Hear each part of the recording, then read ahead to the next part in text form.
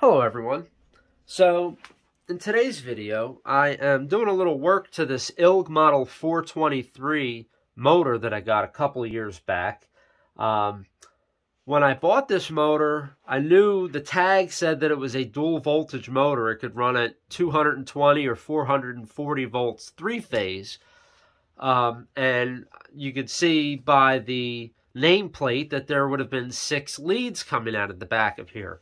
Now, I didn't really take that much of a notice because when I saw the pictures of this, it was an online purchase, so I didn't get to see it in person until it was delivered. But um, I didn't notice they had the leads all curled up and tied together. There was only three leads coming out of the back of this. So when it arrived and I saw that, I knew, I said, okay, most likely this thing was rewound. And sure enough, I looked on the side and there is a, there's actually a, a tag. It says Topeka Electric Motor Repair.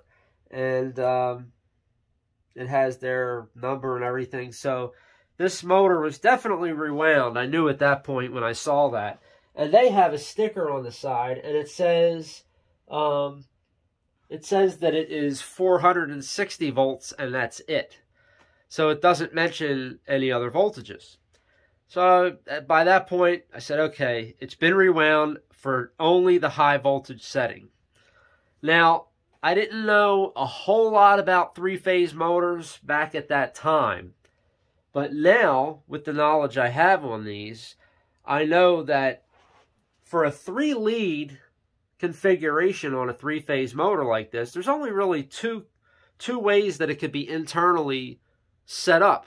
Uh, you could either have these wired as a delta or a Y configuration on the inside of the motor.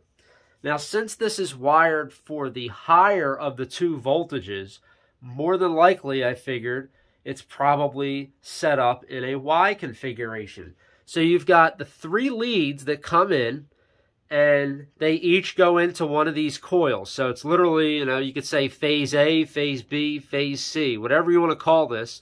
Uh, these three coils are the start of the three phases coming in. And they go around the motor, all the way around the stator, and it was actually pretty easy to find this. I just cut open some of the lacing and started to pull stuff apart very carefully, and I found I actually kind of could see it before I did anything to the motors. This had a, a, weird look to it, but I noticed this kind of bulky connection here. And when I pulled it apart, there's actually three leads that go into this connection. So, there it is. This is the Y connection on this motor. So all I need to do now is cut this apart, take the, the three separate windings or the the other end of the three windings and attach a lead to each one and then run it out with the rest of these leads and I will have a six lead motor again and I should be able to run this on the low voltage setting or high voltage. I'll have that option now but it will be back to its factory configuration the way that this motor would have left from ILG and um, I'm really happy that I finally figured this out. It really, now that I know about it, it's not anything very complicated. Um, but back then, I didn't really know as much about motors in general, even rewinding motors. And now, after having rewound a few, I noticed, I said, oh, these connections are all right here. I know how they do this stuff. They're all right on top. So I should be able to get into the connections and find where they're tied together and put those new leads on. So I'm going to do just that, and we'll get back and see how this thing runs afterwards when I get all the six leads coming out of here.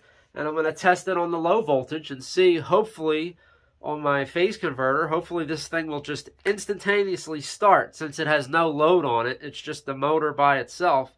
Uh, when I had it wired like this for the 460 volt, uh, the way they had this configured from the motor shop that rewound it, it kind of started slower because it was only getting half the voltage from my phase converter. But um, now, since I'll be able to wire it to the same voltage as the phase converter, uh, it should get a substantially faster startup. So we'll see how this thing works. All right, so here's the, I separated the three leads. This is one, uh, this is two, and where's the third one? Oh, right here.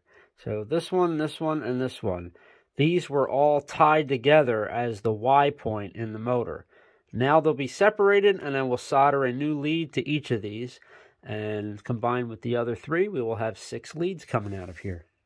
Alright, so here's what the job looks like after I have added the three new leads. They are the same gauge wire. The insulation is just a little bit thinner on the ones I added compared to the old ones. But um, you can see I sprayed it with some of the the red spray varnish, which is actually what the motor already had, so it kind of blends in with it. Um, and right in here is where the new joints are that I added. Can't even really tell. It all just blends right in. So uh, we will see. Once I uh, test this out, I'm going to test it with the ohm meter, make sure everything checks out. And I'll also do a insulation resistance test to make sure everything will be good to go. And then we'll fire this thing up and test it. Alright, so here we go with the ILG 423 motor. This is wired in delta configuration for low voltage. And I have it running off of my rotary phase converter. I'm going to start the converter. And here we go with the start of the load.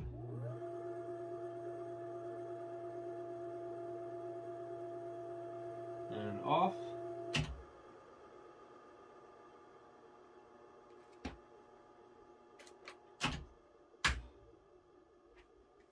I'll stop this real quick and we'll go for one more start. Here we go.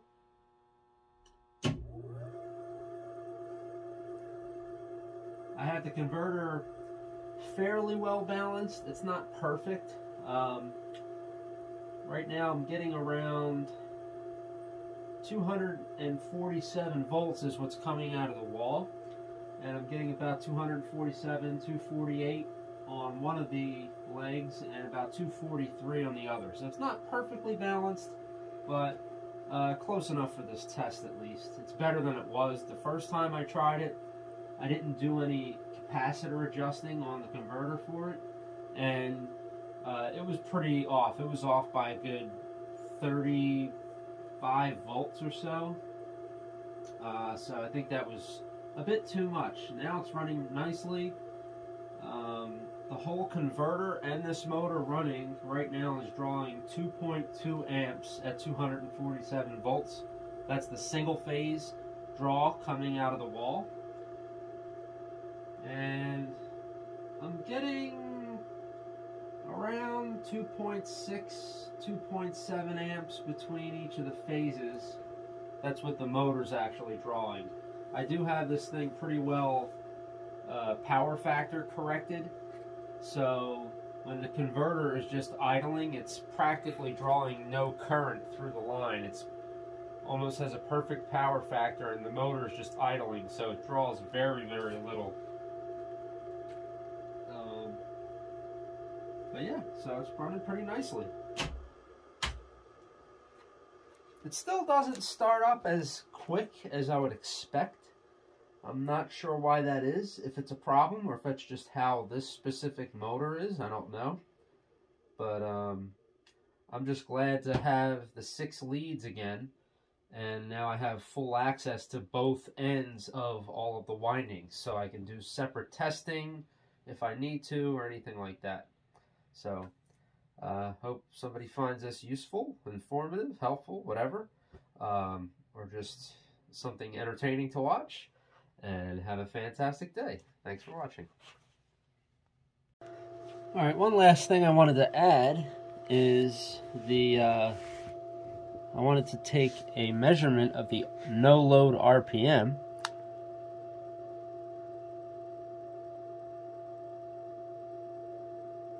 So pretty close to synchronous speed. I think 514 is actually the synchronous speed for this, for a 14 pole motor. So that is pretty good. So a little over 500 RPM.